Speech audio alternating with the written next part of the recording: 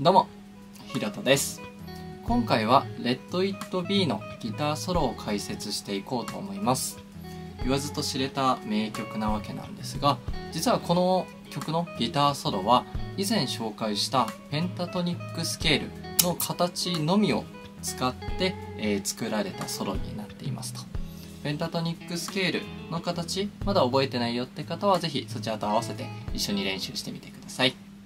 ワン、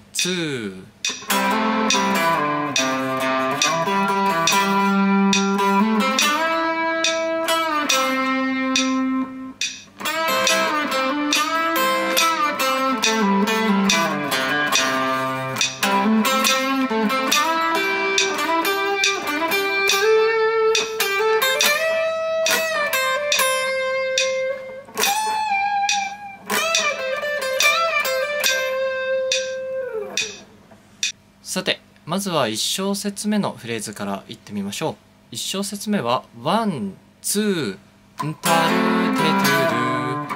この1 2ンタルという入りが大事になってきます。ここでは3弦と4弦のこの5フレットを押さえて薬指だけ7フレットにハンマリングするというこのダブルストップという技術が使われているのでこれもとても大事な技術なのでぜひ覚えてみてください。2小節目は1小節目の最後に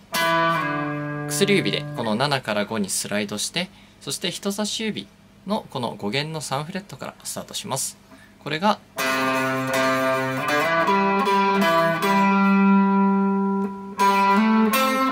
といったようなフレーズなんですけども差し指で弾いて薬指5から7にスライド。そしてこの後4弦の5から7にハンマリング。で人差し指で3弦の5フレット。そして3小節目はチョーキングが入りますね。このチョーキングフルチョーキング。このスライドして2フレット分上がったところと同じ音になるようにで上がった状態でもう一回弾いて下げてきて人差し指で5フレット。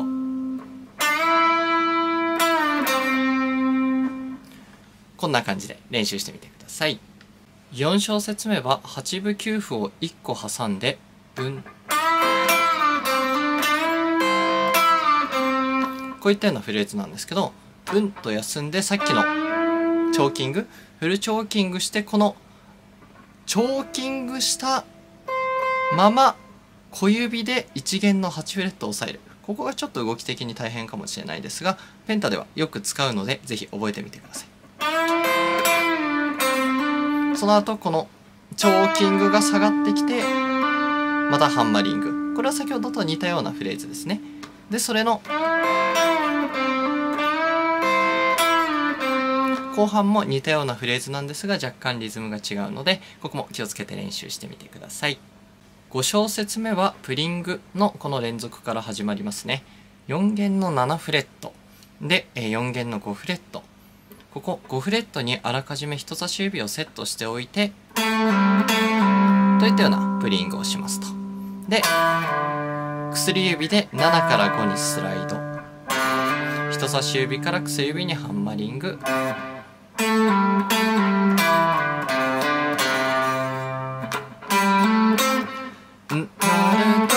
その最後は9符を16分9符を1個挟んで4弦のこの5から7にハンマリング3弦のこの、え人差し指に行くといったようなフレーズです。6小節目のフレーズは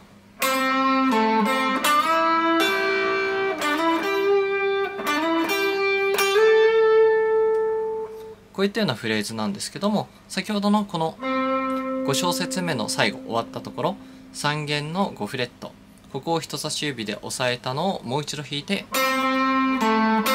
ここの4弦の73弦の5と戻ってきてでこの3弦の7をチョーキング。でここで小指を使う動きは先ほどのフレーズとちょっと出てきたフレーズと似ているんですが今度は1弦じゃなく2弦ですね。ここ結構きついので念入りに練習してみてください。で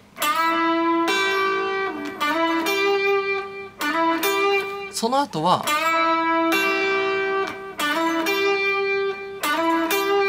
薬指でチョーキングじゃなくスライドで中指でこの2弦の8フレットでその中指を最後10にスライドするといったようなフレーズになっています。7小節目のフレーズは、えー、先ほどの、えー、6小節目のここの10フレットのスライドがこれ伸びて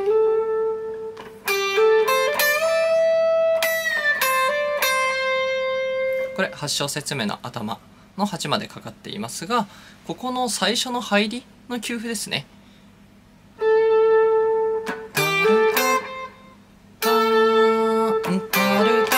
この入りさえ気をつけられれば先ほど出てきたようなこのハンマリングだったりチョーキングだったりのフレーズでいけるのでこの感じで練習してみてください。8小節目は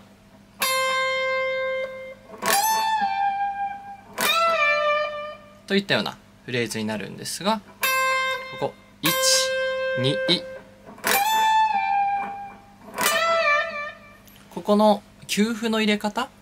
が少し、えー、ややこしいかもしれないですがこのチョーキングなどは先ほどの練習と一緒なのでそこも合わせて練習してみてください。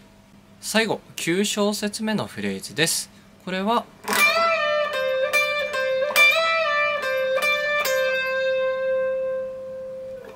といったようなフレーズになるんですけどもフレーズ自体はこのチョーキングを使って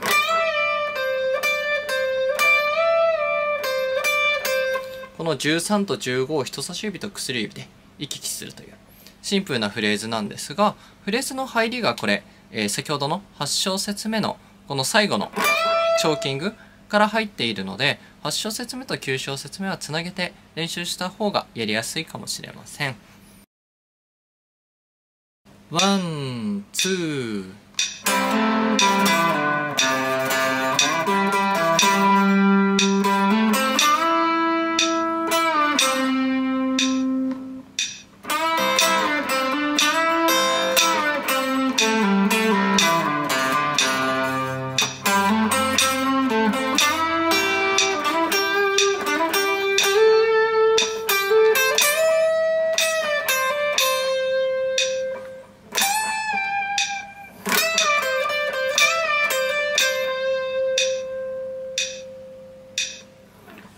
ワン、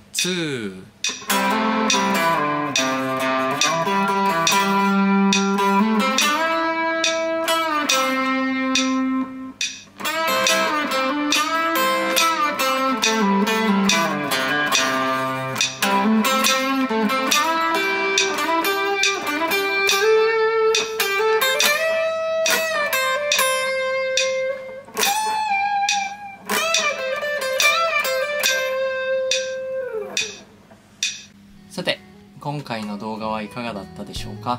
えー、ペンタトニックスケールの実践的な練習フレーズとして今回の「レッド・イット・ビー」のギターソロを、えー、取り上げてみましたが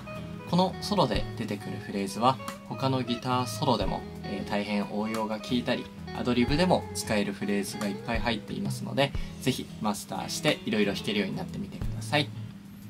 このチャンネルでは、え今後もギター関係の動画をたくさん上げていきたいと思っていますので、えー、興味が